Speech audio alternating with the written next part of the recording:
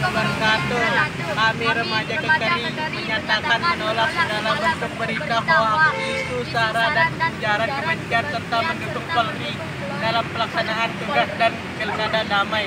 NKRI hargai mat, harga mati, yes.